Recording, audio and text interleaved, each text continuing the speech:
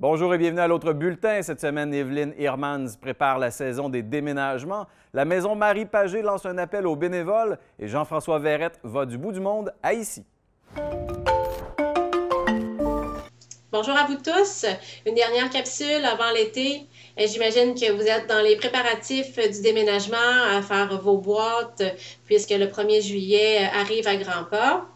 Sachez que vous ne disposez pas de jour de grâce pour déménager vos meubles et vos biens personnels. Vous avez jusqu'au 30 juin à minuit euh, pour déménager vos biens personnels.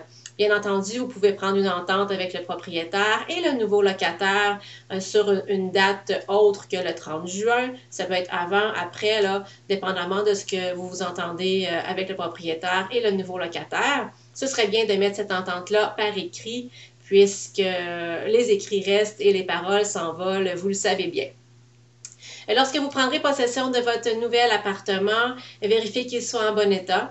Vous pouvez prendre des photos afin d'avoir des preuves euh, comme quoi, oui, il était bien habitable ou non, euh, qu'il y avait des réparations euh, qui devaient être faites et qui ne le sont pas. Donc, vous aurez des preuves à ce moment-là si jamais vous voulez exiger là, au propriétaire de faire les dites réparations, par exemple, ou une demande au tribunal pour X raisons. Euh, avant de conclure votre bail, il serait préférable de prendre une entente écrite avec le propriétaire si vous vous êtes entendu justement euh, pour qu'il fasse de la peinture, réparer un trou dans le mur, peu importe, avant votre arrivée. N'oubliez surtout pas de demander une copie de votre bail au propriétaire. Vous devez avoir votre bail en main. Puisqu'il s'agit d'un contrat que vous signez, vous devez donc avoir une copie et le propriétaire se doit là, légalement de vous en remettre une aussi. Selon la loi, vous avez le droit de connaître le loyer le plus bas payé de l'ancien locataire, il devrait être inscrit à la section G de votre bail. Cependant, dans la réalité, cette section-là n'est pas toujours remplie par les propriétaires. Vous pouvez donc euh, essayer de connaître le montant euh, par l'ancien locataire et de votre côté, si vous déménagez, il serait bien que vous laissiez une copie de votre bail dans votre ancien appartement. Euh, comme ça, le nouveau locataire sera en mesure de pouvoir voir lui-même à quel montant vous aviez payé votre loyer. Ça peut éviter là, les hausses abusives euh, qu'on voit là, euh, présentement. Il existe des recours concernant, euh, concernant ces montants-là là, au tribunal administratif du logement. je vous invite à aller vérifier là, sur le site Internet concernant la fixation de loyer. Je vous rappelle quelque chose de très important. L'obligation première d'un locataire est évidemment de payer son loyer le premier jour du mois sans faute, à moins que vous ayez pris là, une autre entente avec le propriétaire sur une autre journée. Euh, donc, c'est très important. Euh, c'est vraiment l'obligation à, respecter euh, au plus haut point, si on peut dire. Euh, quelques petits pièges à éviter euh, euh, si vous cherchez un logement présentement et que vous n'avez pas trouvé. vous savez que les, les, constructions neuves, donc construites en bas de 5 ans, vous ne pourrez pas refuser l'augmentation de loyer. donc, c'est important de le savoir avant de signer un bail avec un propriétaire là, qui a des immeubles neufs. Également, si vous faites affaire avec une agence de location, c'est en fait inutile et c'est très dispendieux euh, pour rien.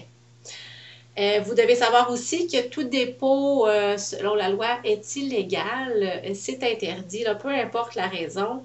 La seule chose que le propriétaire peut vous demander, c'est un dépôt pour le premier mois de loyer qui sera déduit, là, en fait, sur un des mois, dans les 12 mois euh, du bail.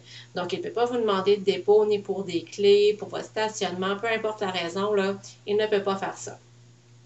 Également, gardez en tête euh, de toujours avoir euh, des ententes écrites, comme je le disais tout à l'heure. c'est une protection autant pour vous que pour le propriétaire. Donc, euh, je vais vous souhaiter un bon déménagement. Je vous invite à regarder euh, la page Facebook de l'association.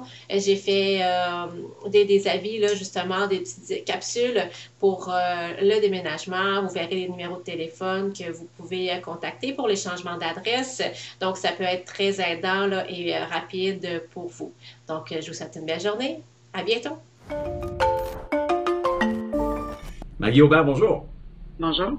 Alors, vous êtes coordonnatrice des bénévoles à la maison Marie Pagé. Euh, dites-moi, la maison Marie Pagé, c'est quoi exactement son rôle ou sa mission? Nous, on accueille des gens en fin de vie, donc on offre des soins palliatifs dans un cadre familial à des gens de Arthabasca érable. OK. Mais vous n'êtes pas un CHSLD ou un RPA, c'est vraiment plus une maison de fin de vie.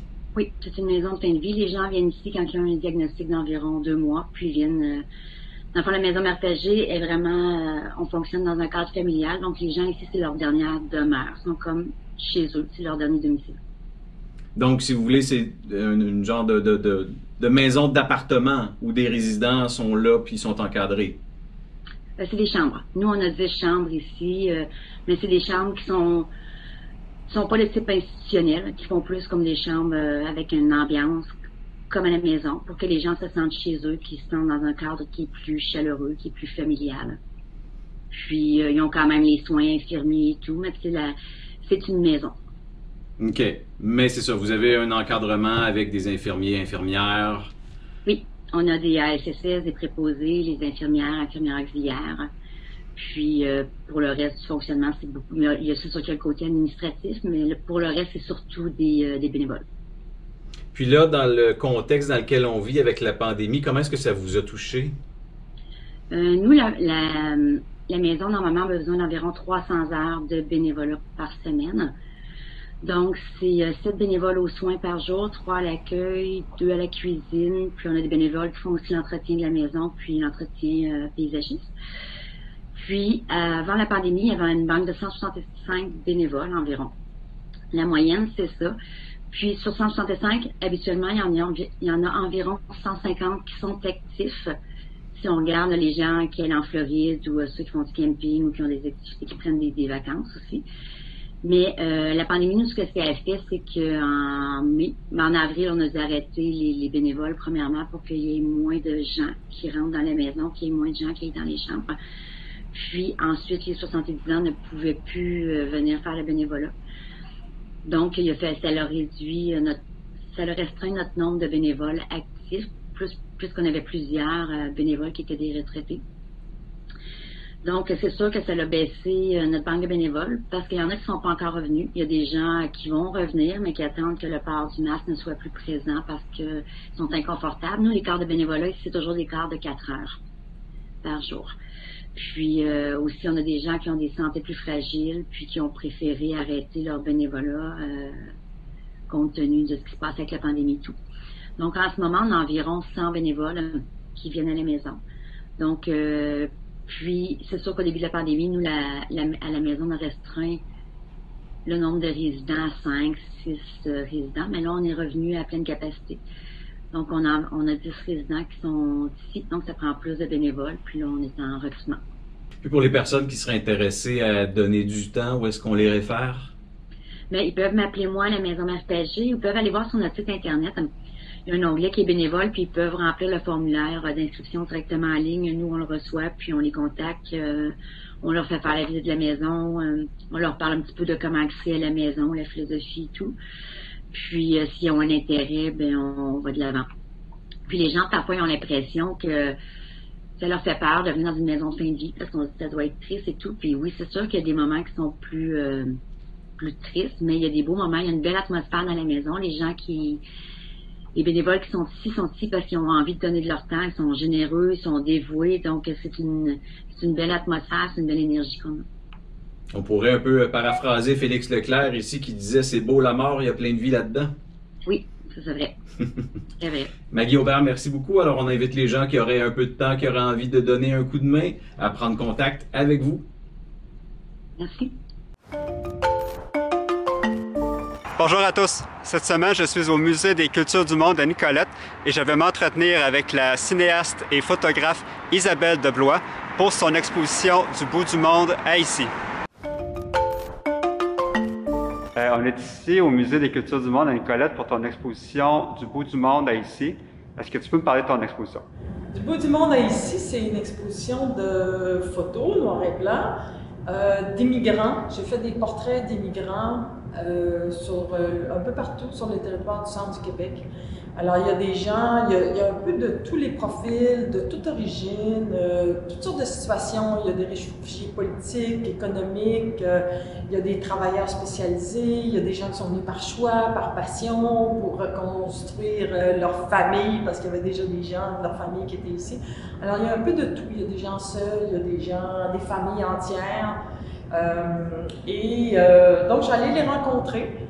et on a décidé ensemble du contexte la prise de vue. C'était presque de la médiation culturelle d'une certaine manière parce que, en fait, moi je me disais, si les gens, si on les photographie dans des lieux où ils sont bien, où ils sont à l'aise, avec des gens euh, qui choisissent eux-mêmes, les gens avec qui ils veulent être photographiés, s'ils veulent être, seuls ou en, famille. Donc, je respectais ça, donc j'allais rencontrer les gens dans ce contexte-là. Euh, moi, ma, ma, prémisse de départ, c'est je me disais, je trouve que dans les médias, on parle beaucoup d'immigration, évidemment. C'est vraiment un sujet d'actualité partout. Euh, mais je trouve qu'on parle, à mon avis, à moi, je trouve qu'on parle souvent, on en parle souvent en termes de statistiques, de main-d'œuvre, de pénurie de main-d'œuvre, de, de, de quotas, de. Puis moi, je trouve ça épouvantable parce que je trouve que derrière ça, c'est des vies, c'est des familles, c'est des, des, destins, c'est des parcours. Euh, il y a des gens qui viennent travailler ici, là, puis leur famille, leurs enfants sont à l'autre bout du monde. Je pense à des, des soudeurs philippins. Ils disent, regarde, moi, je viens ici pour survivre, pour faire vivre ma famille. Euh, il y a des gens qui ont quitté, qui ont fui la Côte d'Ivoire quand il y a eu des, euh, des, problèmes politiques, réfugiés au Togo. Leurs enfants sont là-bas, eux autres sont ici. tu sais, il y a toutes sortes... l'immigration, c'est c'est pas juste une question de main-d'œuvre, hein? c'est des, drames, c'est des déchirements, c'est une adaptation. Moi, je suis impressionnée par euh, la force, la détermination de ces gens-là. Euh, il y a une péruvienne, a fait son cours de droit au Pérou, là, elle est avocate, puis là, elle revient ici, elle recommence son secondaire en français, apprendre le français pour reprendre son cours de droit. Je trouve ça vraiment courageux. Moi, je trouve que c'est. Euh, je suis impressionnée par ces gens-là. L'exposition de photographie d'Isabelle de Blois du bout du monde à ici se déroule au Musée des cultures du monde à Nicolette du 28 mai au 31 octobre 2021. Pour en savoir plus sur Isabelle de Blois ou pour connaître l'ouverture du Musée des cultures du monde à Nicolet, je vous invite à consulter les adresses Internet qui apparaissent au bas de l'écran. Sur ce, merci et bonne semaine.